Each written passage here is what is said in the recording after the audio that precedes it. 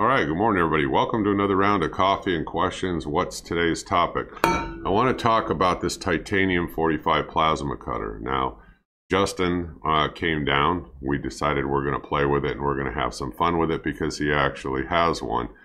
And something went wrong with his camera and so forth, but we did manage to get a lot of footage. And I wanted to talk to you, I mean, about this. And I mean, this is a nice plasma cutter. Now, the one that I had was a Hypertherm.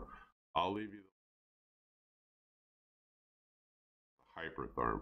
I'll leave you the links below, but I had the Hypertherm for quite a while. I ended up selling it and getting most of my money back, or they're close to it. And I decided, well, I didn't need one for right now. But when he told me he had this, I thought, I'm dying to try this out. So he came down, we hooked it up, and we demoed it. So I'm going to give you my overall thoughts. I like it overall, and I'll do questions and answers on this. But for right now, I'm going to change a picture. I'm going to show you different pieces of footage from our day together. I mean, actually using this. So give me just a sec, and then I'll stop in between, make a couple of comments, and we'll move over to questions and answers. But this is a nice little unit. All right, so in this first photograph, you're going to see this is me beginning to use the torch and actually cutting. Now, how and how, how did we go about this? So what I did is I went on the computer, Googled, you know, templates, or I put horse template or Route 66, you know, template, and it came back with some black and white pictures. I printed those out on my printer. I took them down to FedEx. FedEx blew them up to the size that I requested. They've got machines there to do that. I think it was two dollars a piece, and they went ahead and they printed those out. Then I brought them home. I took a pair of scissors and like a, an exacto knife, and I cut out what you see here. I laid it on the piece of uh, sheet metal, and then I used white primer and I shot it, and that created the pattern here that we use to begin to cut. Oh, here's a neat little fun fact. Dad just said that this was his grandpa's big old piece of heavy lead. What are you supposed to use that for? I have no idea. Just a big round solid piece of lead, maybe for shaping. Uh, Metal? I don't know. Yeah, I have no idea. I just have always used it. He was a masoner. He was a masoner too, right? Yeah. Yeah. In the masonry. Cool. Okay, folks. So what we have is you have the template laid out here. You can use little pieces of blue tape or whatever you want to hold the corner so it doesn't fly up on you when you're spraying that primer. So you go around it just like I did here with the white primer and here you can see where I cut the inner part of the O out and I just put it in there just like this. These down here is at the little bridges. You spray that, I just let it sit for a while, no rush. Lift it off of here, take this off, and there you got the template. Now, so you don't screw yourself up, I mean when you're doing this, here I've got the bridges, up here I didn't, and I realized, well, if you go and you cut this out, it's going to drop out.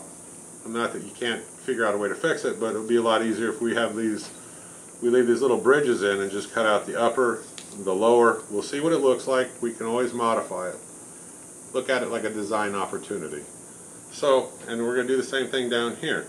And here's the outline of the sign. For the moment, what we're going to leave off is this big gray line, okay?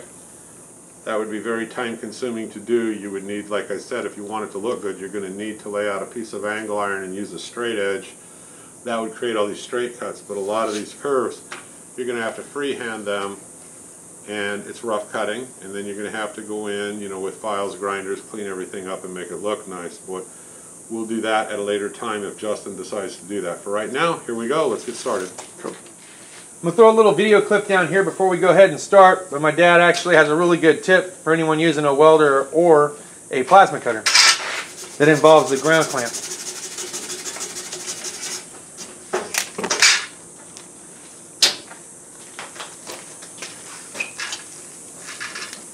Alright, so with everything in place and being moderately untangled, I want to start with the letters first. I think that's what I'm going to Yep, do. I would. Or the numbers or whatever. Just keep in your mind where those little bridges are. Stay away from them. You're going to cut off just the white. Yep.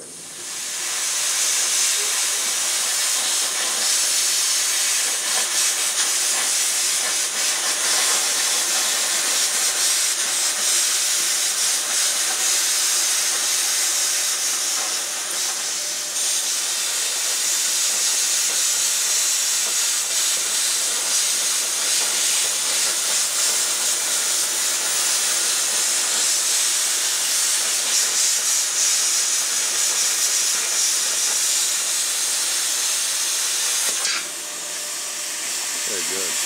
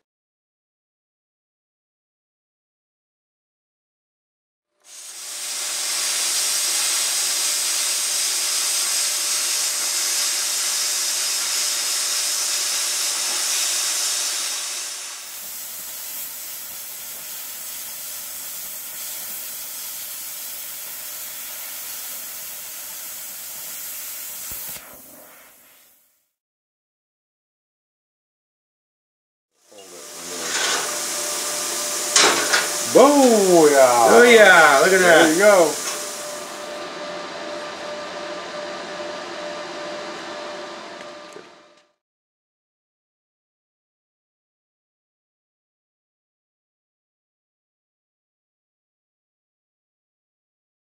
So what are the first few things that uh, I liked about this unit um, after using it? You saw just in the previous couple of clips that I put up there, you know, us using it. Well, you got that nice little adapter that goes from 110 to 220. I mean, that's nice. The cables and the air hose, they're well shielded. It's a good, uh, you know, thick gauge. I mean, for the grounding clamp cord. The aluminum clamp is nice. I mean, I didn't have any problems with that. It's decent quality. I mean, it's not the incredibly cheap one and it's not the super high end one, but it's very doable, very nice. I like the LED display on this. I like the knob on the front. I mean, and so this is really kind of a very simple unit to use once you had it set up correctly. And we'll go over some of my thoughts on that. But I do like the digital display. I mean, it's nice to be able to glance over at it. And for the price, this is a good cutter. I really believe that it is.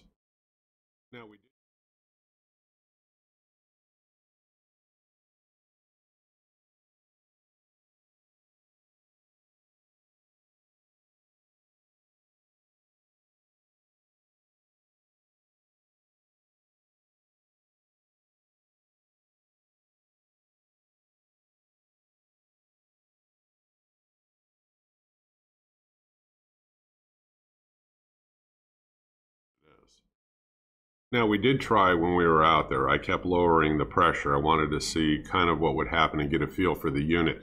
If you lower the pressure too much, the unit just kind of shuts itself off because the unit recognizes you don't have enough PSI coming to it to power it. So, what would I would tell you, I mean, for the initial settings, I mean, on this thing is I would set it at 95 PSI and keep it about 33 amps or less. If you do, the duty cycle will be 100%. Anything else, I mean, you know, you might have to shut it off, let it rest a little bit. If you set it like that, though, this thing is like, uh, it's a beast. I mean, it's like a cutting tool on steroids. Long time back, I mean, all I had was oxyacetylene and a cutting torch.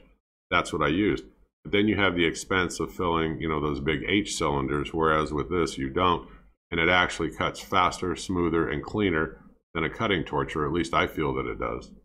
Um, one of the questions on here where somebody had said you get a lot of slag with this. Well, yes and no. Yes, you will, but I mean, if you tweak the settings and play around with it, pretty soon you'll get a good, smooth, clean cut. Um, would I buy it? Yeah, I would. Um, Justin bought it. I'm glad he's got it. I could probably use it from time to time from him. But if I was going to go out and get another one, yes, I would buy this unit because if you compare that, look in the description below, click on Hypertherm, that's the one that I got. You can get this one at one quarter the cost, and after demoing this in you know the video that you just saw, it does everything that the Hypertherm did. Now on mine, I have a dedicated air hose in the garage uh, that I only run. Uh, let's say that I was using it for my spray guns and stuff because I don't want water contamination or anything in there. It goes through a filtering system and I have disposables. I'll leave you the link below. I put a disposable on there. Now, one of the nice things about this, it has an integrated water strainer on the back of it. See if I can show you a picture in a minute. But the cleaner that you can keep the air coming into it, you don't want moisture coming into this unit. So having that extra disposable filter is going to help you. Take a look over here to my right. You can see the tip, that's silver. That's like the standoff guard. And it actually helps to keep your distance from the tip to the material. Now, this is going to make your consumables last longer. You won't burn up the tips as fast. I found it really handy. I found it to be accurate. The one thing that I would caution you about, make sure, uh, maybe you can even contact Harbor Freight. My one caution would be to make sure I could get replacement parts if I needed to. I'm sure that the consumables are available, but you know, grounding clamp, that's easy to replace. But I mean, if you had problems with the gun, or the hose or anything like that and you needed to get another one, I would contact them just to make sure that there's parts availability somewhere. That would be my only caution on this unit. Otherwise, fantastic for the price, I think. Um, I can give you a couple of tips on the success of this. You have to have a good compressor And I would run it on 220. I wouldn't even use the 110. You have a good compressor, you run this on 220, I'm telling you, like I just said, it's a beast. It will cut like there's no tomorrow. It works really well. Um, any other tips I have? Uh, yeah, if it was me buying it, I would buy the extended warranty. Um, this is a pretty good size investment at $900. Uh, you know, whether you use coupons or whatever you use, it's still a pretty good size investment. I would get the extended warranty with it. It's a very easy unit, I mean, to set up and use. I enjoyed using it. Um, if I had my choice between this and the Hypertherm right now, I would go with this. Like I said, one quarter the cost. It did everything that my other one did. It's a nice unit. This is a very basic overview, I understand. But you can see, you know, from the videoing that we did in the demo, and yeah, we're only using sheet metal, but I did put up a piece of, uh, it was almost quarter inch stock angle iron and it cut through it with no problem. We were just playing around, but then we converted over to the sheet metal because we were actually going to do some fun projects. If you take a look at Justin's video, you'll see the Highway 66 sign up in his garage. He took it home. You can always clean up all of the edges, four and a half inch angle grinder, flap wheels, all of this stuff is available at Harbor Freight. I will also leave you links below. I buy benchmark abrasives. I find them to be better than most things that I've used, and they've got a good price on them. You can use a Harbor Freight, you know, inexpensive hand files. You can use Dremel tools to get in to, you know, those little intricate areas and really clean them up and make them look good. You can also use a four and a half inch angle grinder flap disc, clean off the entire surface of the rust or leave the rust. Shoot it with clear. You've got all kinds of options really when it comes to the finishing it's a fun thing to have and it comes in really handy if you're going to do any kind of a cutting at all. Like I said, if I was to buy it again, I would definitely get this one. I'm the Home Handyman. I hope you click subscribe. Keep following me. I hope you folks enjoy these videos. Check out Justin Dow's channel. He's the one that has this. And he has also the, you know, the MIG welder, which we have done videos in the past. It's a nice MIG welder. Um, I've got the Miller, of course, the 211 auto set, but we have both tools now. So that's what makes everything nice. I mean, and we can keep demoing things and bring you folks, you know, the information. I hope you click subscribe, keep following me. If you know something better or a better deal, drop it in the comment below. Otherwise, I'll see you on the next video. You folks have a great day. Bye-bye.